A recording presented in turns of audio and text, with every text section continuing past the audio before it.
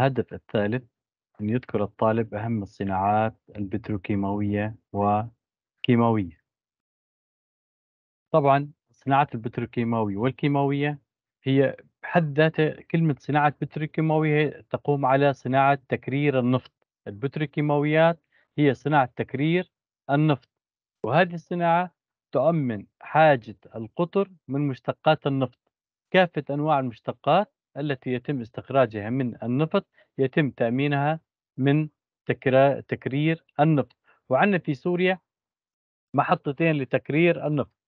الأولى محطة مصفاة بانياس وطاقتها الإنتاجية تقدر بنحو 6 مليون طن سنويا. يعني خلال العام تقدر أنه طاقة هالمصفاة بالإنتاج نحو 6 مليون آه، طن سنويا. طبعا في عندنا أيضا مصفاة أخرى هي مصفاة حمص وهذه مصفاة حمص أيضا تبلغ طاقتها الإنتاجية بحدود 5.7 مليون طن سنويا. هذه المشتقات النفط التي يتم إنتاجها من المصافي بعد التكرير النفط هي تؤمن تقريبا حاجة القطر من هذه المشتقات. يتم نقل النفط من حقول الجزيرة وحقول الفرات إلى مصفاة حمص تزود مصفاة حمص بحاجتها ومن ثم إلى مصفاة بنياس أيضا بأنابيب أيضا تزودها بحاجتها ومن ثم الناتج ناتج التصنيع يعود البلد ومعظم صادرات النفط اللي يتم تصديرها هي تكون من النفط الخام يتم تصديرها عن طريق مينائي بانياس في اللاذقية وميناء طرطوس يتم تصديرها إلى الخارج. طبعا وتنقل المشتقات النفطية إلى دمشق وحلب واللاذقية بالأنابيب. وهذه بالنسبة للبتروكيماوية.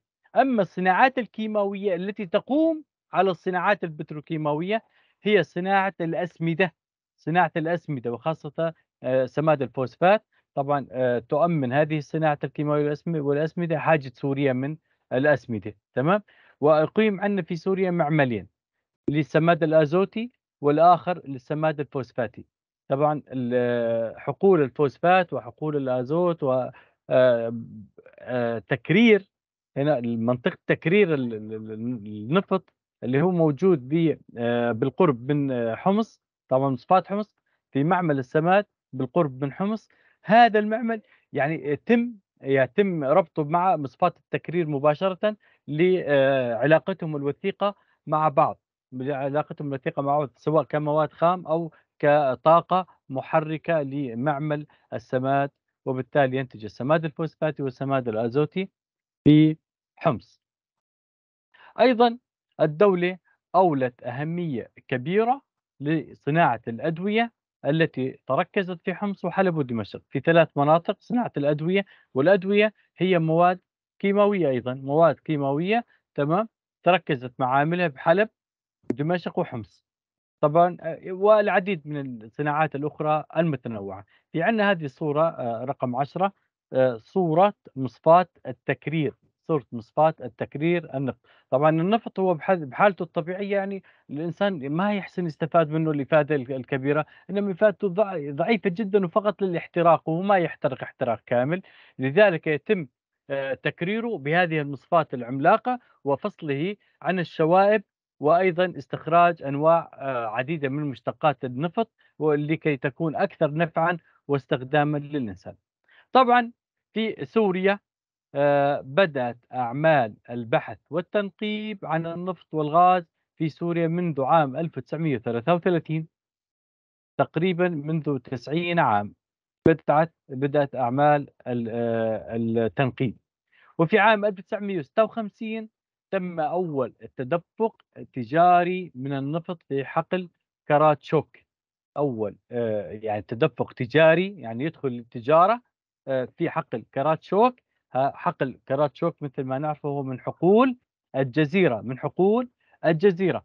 وبدأ إنتاج النفط في سوريا في أيار عام 1968 وأيضا في عندنا آه، يعني هذا الإنتاج كان يصدر إلى ميناء طرطوس تمام وفي قطاع الغاز هذا بعد النفط عندنا القطاع الثاني هو قطاع الغاز الذي بدأت الشركة السورية للنفط باستثمار الغاز المرافق لتوليد الطاقة الكهربائية منذ عام 1975 فهذه تاريخ آآ البحث والتنقيب عن النفط والغاز في سوريا. سؤالي الآن اذكر أهم الصناعات البتروكيماوية والصناعات الكيماوية يا جنى. صناعة تكرير النفط وصناعة الأسمدة الكيماوية وصناعة الأدوية الكيماوية. تمام، فالصناعات البتروكيماوية عندنا ثلاث أنواع للصناعات. صناعة النفط، تكرير النفط هذه صناعة بتروكيماوية، صناعة تكرير النفط، وهذه الصناعة ينتج عنها عدة آآ مشتقات، من تكرير النفط عدة مشتقات، عندنا مثل ما ذكرنا مصفاتين حمص وبنيس. أيضًا عندنا صناعة الأسمدة الكيماوية، والأسمدة الكيماوية أيضًا تعتمد على التصنيع للمواد الكيماوية، وأخيرًا صناعة الأدوية التي لها أهمية كبيرة خاصةً في حمص ودمشق وحلب.